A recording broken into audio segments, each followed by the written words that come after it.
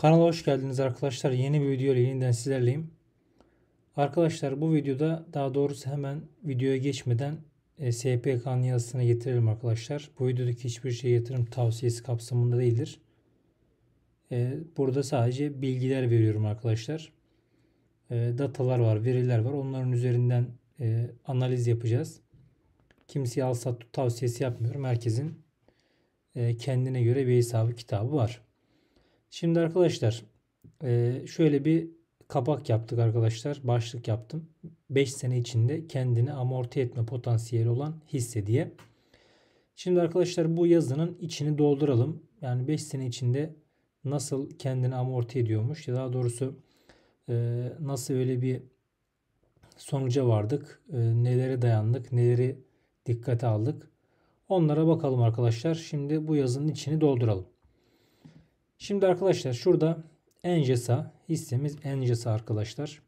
5 sene içinde kendini amorti etme potansiyeli olan hisse Engesa. Şimdi e, amorti eder demiyorum arkadaşlar. Amorti etme potansiyeli olan diyorum. Şimdi neye göre bunu diyoruz? Yani neden böyle bir şey söylüyorum?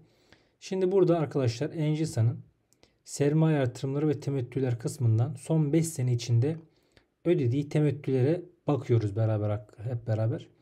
Şöyle 2019, 2020, 2021, 22, 23 şöyle 5 sene bakıyoruz. Hisse başı net e, dağıtılan kâra bakıyoruz. Şurası brüt kısmı, burası da net kısmı. Şimdi 2019'da 0.34, 2020'de 0.51, 2021'de 0.81, 2022'de 1.11, 2023'te de arkadaşlar 2.07 TL hisse başına e, net temettü dağıtmış Engesa. Şimdi burada baktığımız zaman arkadaşlar şöyle yani her sene neredeyse %100 artmış arkadaşlar. E, e, temettü ödeme oranı her sene neredeyse %100 artmış. Biz %100 arttırmayacağız arkadaşlar. Biz daha çok daha az arttıracağız. Yani 1 TL 1 TL arttırarak gideceğiz. Ee, bakacağız 5 sene sonra yani 2024'ten 2029'a kadar e, o 5 sene içinde acaba bu Engesa e, yani hisseye verdiğimiz parayı amorti edebilecek mi? E, şimdi burada yani önceden diyelim ki burada yani bu kısımda önceden işte enflasyon var diyelim. Büyük enflasyon vardı. Bayağı bir süre bunu yaşadık. O yüzden dolayı böyle hızlı arttı diyeceğiz ama yani çok büyük artmış arkadaşlar. Yani her sene verdiği karı %100 arttırmış yani. Şimdi yani daha doğrusu mesela şuradaki verdiği kar arkadaşlar şu 2019'da verdiği kar 0.34 2023'te 2.07 veriyor arkadaşlar. Yani şu 2.07'yi 0.34'e böldüğümüz zaman %600'lük bir artış çıkıyor ortaya. Yani 5 sene önce e, yani 1 TL veriyorken 5 sene sonra e, bu şey arkadaşlar e, bu e, hisse başına ödenilen temettü oranı arkadaşlar ne olmuş? 6 TL 7 TL'ye çıkmış. Yani 5 kat 6 kat artmış. Yani bu inanılmaz bir şey. Şimdi e, şuradan arkadaşlar şöyle bir hesap yaptım ben de. Şimdi 2024'te 4 TL verdi diyelim. Hani geçen senenin iki katını verdi diyelim. Yani %100 arttı diyelim.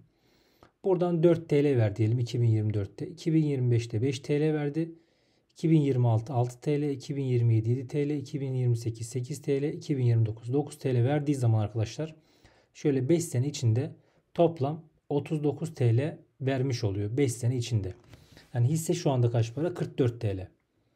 Yani sadece verdiği temettüler arkadaşlar 5 sene içinde hisseyi amorti ediyor ki Şurada arkadaşlar gördüğünüz gibi ben burada yükseliş oranını yani yüzde 20 yani yüzde 20 falan yaptım. Yani orada yüzde 100 artıyordu.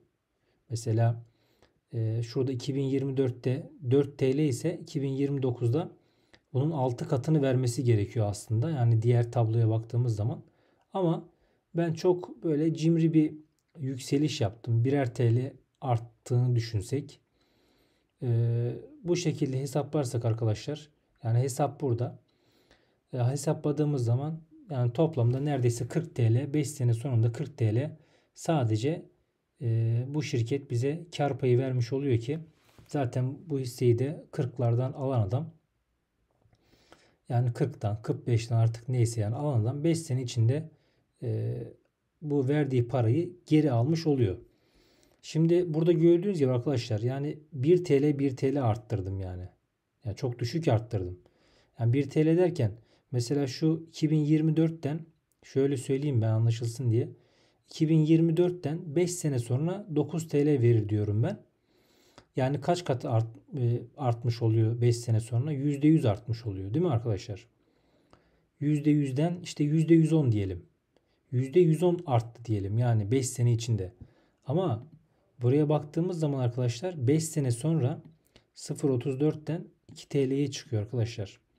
Yani 5 sene sonra burada %600'lük bir artış var. Yani %600'lük burada artış var ama biz burada arkadaşlar o artışı yapmıyoruz. Yani çok daha düşük yapıyoruz. Yani %110'luk bir yükselişle e, hesaplıyoruz ve sonuç itibariyle şöyle gördüğünüz gibi 40 TL çıkıyor arkadaşlar. Şimdi böyle bir hesap yaptım ben arkadaşlar. Sizleri de yoruma bekliyorum. Yani bu hesabın neresi yanlış? Yani neresi tutarsız daha doğrusu? E, bunu hesaplarken neye göre hesapladık? Buradaki verilere göre hesapladık arkadaşlar. Yani enerji sanın geçmişte verdikleri temettülere baktık. Yani burada çok daha hızlı artıyor temettü ödemeleri. Ama biz çok daha düşük arttırmamıza rağmen 5 sene içinde hisseyi e, yani hisseye ödediğimiz parayı geri almış oluyoruz. Şimdi e, soru şu arkadaşlar. 5 sene içinde 5 sene içinde eğer biz bu verdiğimiz parayı geri alıyorsak şirkete bir tane hisse alıyoruz mesela işte 40 TL'den 45 TL'den ve 5 sene sonra o ödediğimiz parayı geri alıyoruz biz. Şimdi 5 sene içinde ödediğimiz parayı biz geri alıyorsak şimdi bu kelepir midir yani? Şimdi mesela e, gayrimenkulcüler bilirler bunu. Yani benim bildiğim kadarıyla bir ev eğer 5 sene sonra şey 10 sene sonra kendini e, amorti edebiliyorsa yani verdiği kiralarla senin verdiğin parayı karşılıyorsa ya bu bina bu konut diyelim. İşte nedir? Kelepirdir arkadaşlar. Yani gayrimenkulcü emlakçı arkadaşlar da yoruma beklerim. 10 sene içinde bir konut kendini amorti edebiliyorsa kiralarıyla bu kelepirdir. Yani normalde 20 sene sanırım amorti etme süresi. Şimdi burada 5 sene arkadaşlar yani 5 sene içinde kendisini amorti edebilen bir hisse. Şimdi arkadaşlar e, burada yani veriler burada arkadaşlar gördüğünüz gibi her şeyi buradan aldım. Yani her şey gözünüzün önünde. E, yanlış nereyi yapıyorum? Nerede yanlış var? Nerede hesap hatası yapıyorum? E, yoruma yazabilirsiniz arkadaşlar. E, bunların yatırım tavsiyesi olmadığını unutmayın arkadaşlar. Zaten e, videonun başında da söylemiştim. E, herkesin zararı da karı da kendisine arkadaşlar. Şimdi ben burada böyle bir yani potansiyel gördüğüm için ya bana göre bu potansiyel gözüküyor. Yani başkaları açısından e, bilmiyorum yani onlar farklı değerlendirebilirler. O yüzden dolayı da videoyu çektim arkadaşlar. Umarım faydalı olur. Bir sonraki videoda görüşmek üzere. Allah'a emanet olun.